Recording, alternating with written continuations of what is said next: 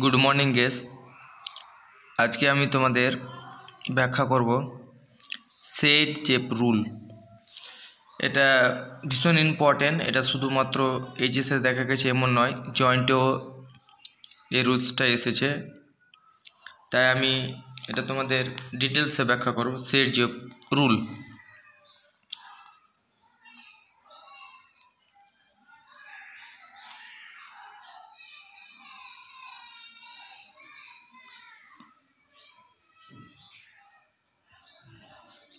Set জেপ rule এটা অপ্রতিসম secondary বা tertiary অ্যালকোহলের ক্ষেত্রে প্রযোজ্য।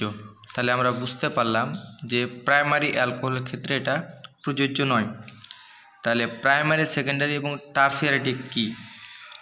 আমরা জানি যে একটা কার্বন পরমাণু যদি অপর একটি কার্বন পরমাণুর সঙ্গে যুক্ত থাকে, তাহলে সেটা হচ্ছে প্রাইমারি একটি কার্বন পরমাণু যদি অপর দুটি কার্বন পরমাণুর সঙ্গে যুক্ত থাকে তাহলে সেকেন্ডারি একটি কার্বন পরমাণু যদি অপর তিনটি কার্বন পরমাণুর সঙ্গে যুক্ত থাকে, তাহলে সেটা টার্সেরি তবে এটা বোঝার শর্টকাট নিয়ম হলো কি?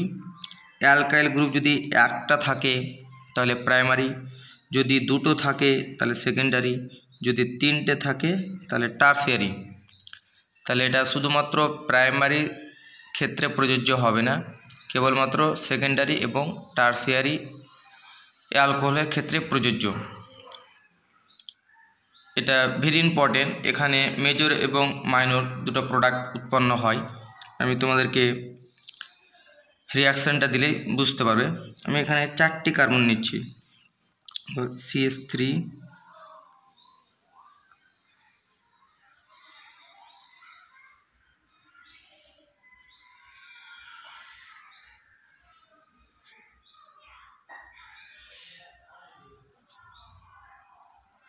এই যে, এই অ্যালকোহলটা নিলাম। এটা কোন অ্যালকোহল? এটা হচ্ছে সেকেন্ডারি অ্যালকোহল তাহলে আমি এটাকে যদি ভেঙে লিখি, তো লেখা যাবে না এরকমভাবে?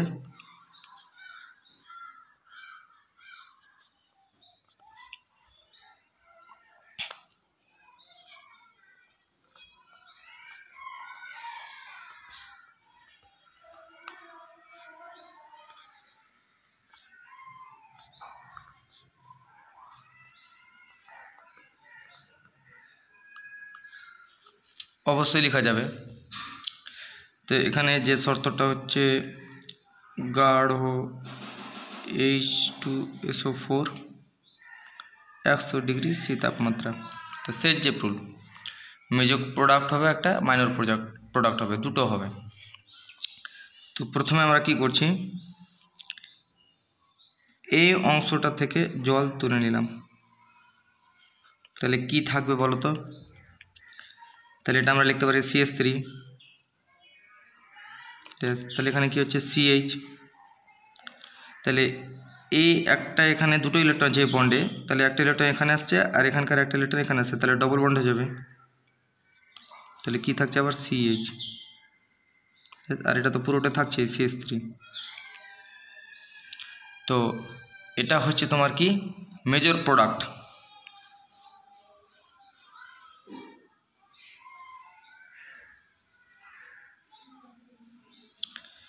এটা যেটা মেজর প্রোডাক্ট এটা কত পার্সেন্ট উৎপন্ন হয়? এইট্টি পার্সেন্ট আর একটা কী হবে তোমার উৎপন্ন? মাইনর প্রোডাক্ট প্লাস দিয়ে হবে। প্রথমে আমি এখান থেকে জল তুললাম, তারপরে এই অংশ থেকে তো জল তুলে দেবে আবার। এই অংশ থেকে। তাহলে এখানে কী হচ্ছে দেখো সিএস থ্রিটা তাহলে এটা। তো আমরা হার্টের জন্য এখানে কাজ করে নিই। তাহলে এখানে কি সিএস টু তাহলে আবার ড্যাশ তাহলে এখান থেকে কিন্তু আমরা ওয়েসটা নিয়েছি, তাহলে এই বন্ডের একটা ইলেকট্রন এখানে আর এই বন্ডের একটা ইলেকট্রন এখানে, তাহলে এখানে ডবল বন্ড হবে। তাহলে সি এইচ ডবল বন্ড তাহলে এখানে কী হচ্ছে? সি এইচ টু এটা হচ্ছে তোমার minor product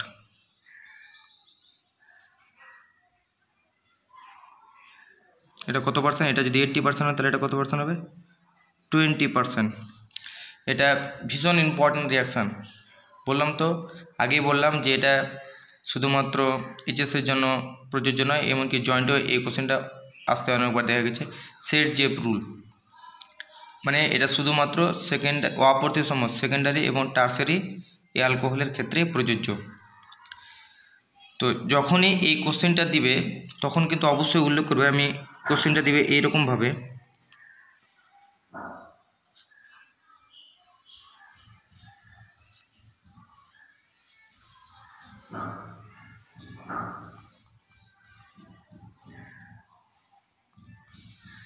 A plus B এখানে লিখবে তোমার মেজর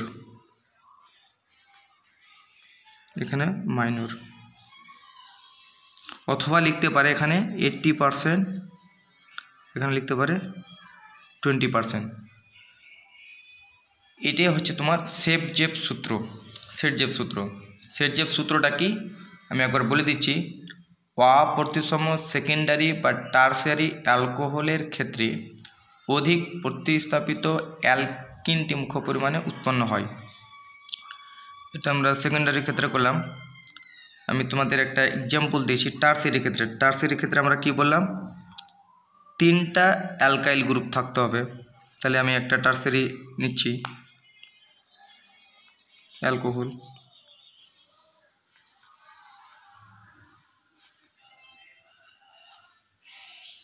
ওয়েজ তাহলে এটাকে আমরা এভাবে লিখতে পারি তো?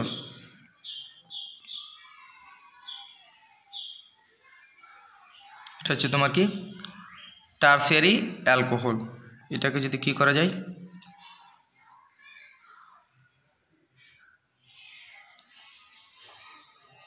এটা খুবই সহজ রিয়াকশান এটা জয়েন্টের জন্যও প্রযোজ্য। আমি আগে বলছি, বারে বারে বলছি, এটা জয়েন্টের জন্যও কিন্তু প্রযোজ্য।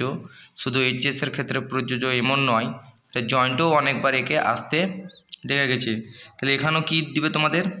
এ দিবে প্লাস বি এটা কি বলো তোমার?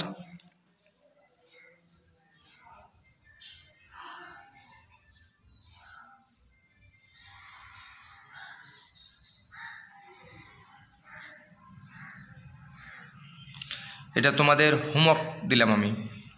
এটা খুব সোজা রিয়াকশন তো, তাই অতটা হার্ড না, তবে চেঞ্জ করলে কিন্তু হবে না। মেজরের জায়গাতে যদি মাইনর লেখো বা মাইনরের জায়গাতে যদি মেজর লেখো, তাহলে কিন্তু হবে না।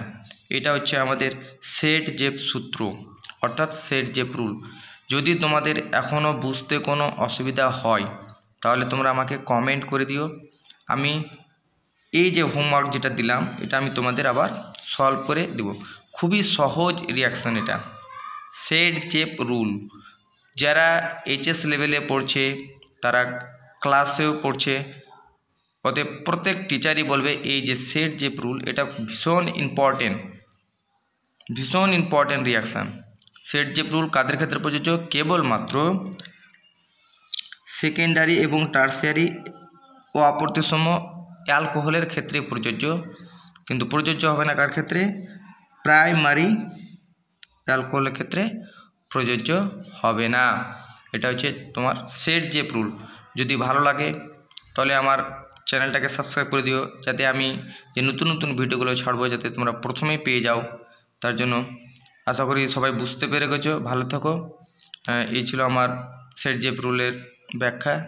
Thank you all for guys